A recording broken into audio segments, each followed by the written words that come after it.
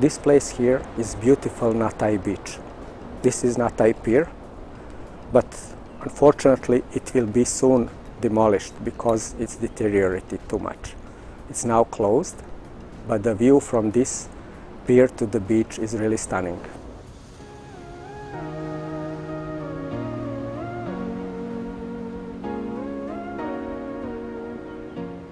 Hi, my name is George. I like to share my views on mindfulness, how to achieve inner peace, and how to be truly happy. I will now continue to share my story with you about my mindfulness journey.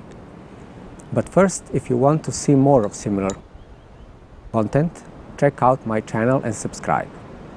As I said in the previous video, my business started in one moment to overwhelm me, and I felt like I cannot continue like that. I needed a break. But first break and probably the most important happened by chance. I was almost forced to go to a vacation in Egypt. Because I could not really relax, I felt bored.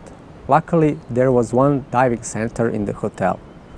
I decided to kill one day trying out this strange activity. I never like to go on vacation on the sea because it seems there is nothing to do while there.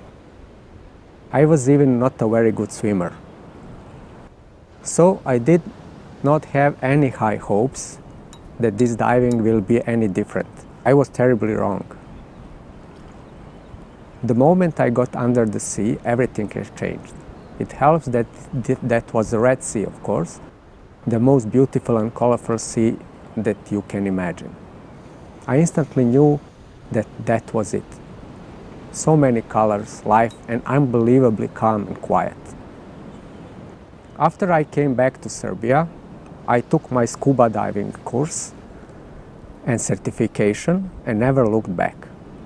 I had a great instructor and scuba diving becomes my passion. In the beginning, I was worried that I cannot endure a whole week on a boat and that I will stay hungry because I don't eat fish. Of course, nothing of that happened, and those trips are still the moments that I enjoy the most. Every chance I had, I went on some scuba diving trips and enjoyed every moment. On those vacations, I was able to relax and forget all the troubles and challenges that waited for me at home and at work.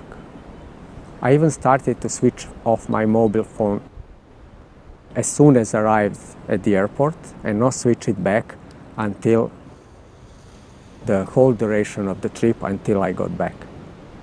Fortunately, in my company, I had some outstanding and reliable colleagues, so I could leave the company in safe hands. Sometimes they even made better decisions than I would. Diving community, my diving buddies, showed me that you can become unattached from everyday problems and just enjoy the deepness of the sea. This group of extraordinary people meant a lot to me and even now I look to spend as much time with them as possible on various diving trips around the world. One more fortuitous event in my life was when I met someone who taught me how to enjoy everyday life moments. The craft I totally forgot. I have really felt better, but I knew I wanted more. On one of my scuba diving safaris, I went to Thailand. It was not my first time, but it was first time we had some more time to explore the stunning country. It is known that Thailand is land of smiles, and it really is. One day we hire a local guy to show us a little more about real Thailand. He proposed to take us to one native Thai restaurant for the real Thai people and real Thai meal. The food was completely different from what we eat in restaurants for tourists, and I immediately fell in love with this food. To this day, if I must choose the best thing here, is the food, spicy and rich in all kinds of tastes. His talk about the Thai way of life with its Buddhist roots was so honest and inspiring that I thought that it will be enjoyable to live here for, for a while. There and then I decided to start to plan my change of environment and the way I perceive the world and most importantly the problems that are an integral part of everyone's life. I needed to learn how to obtain and adopt this peaceful view that Thai people had. As soon as I got back home, I started to search for places where I can learn more about meditation and mindfulness. I never was, and I think I still am not a religious person. I do not believe in afterlife or supreme being that rules our destiny.